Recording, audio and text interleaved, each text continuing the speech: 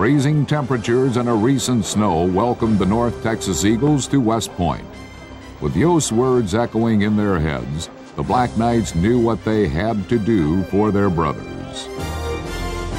A mere 44 seconds into the game, Army defender senior defensive end Nathan Smith scooped up a fumble, and the offense immediately returned the favor on the first play from scrimmage with this 14 yard rush counter left by Rob Lalamandir. An 18 yard scamper by senior split end Brad Miller makes way for Hewitt's final punch into the end zone. The Cadets are on the scoreboard.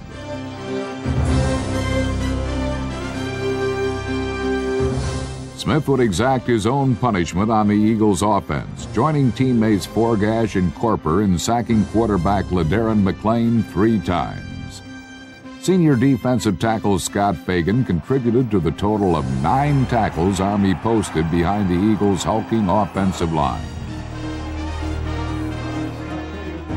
Once again, I think the most successful effort was the North Texas game. We went in, North Texas prided themselves on, you know, playing physical football, and we basically, I mean, we took it to them and shut them down.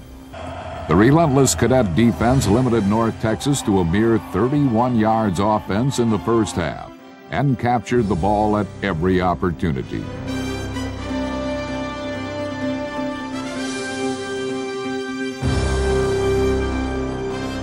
Commanding the Army wishbone attack, Coach Sutton and his Black Knights hogged the ball for more than 40 minutes. Junior split end Rod Richardson made his effort for the Brotherhood on this 64 yard kickoff return to start the second half. And a blast of speed for this 56 yard key touchdown to put the Cadets up 25 to 7.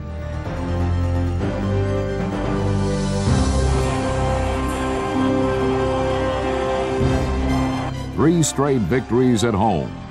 The seniors left the field for the last time at Michie Stadium triumphant.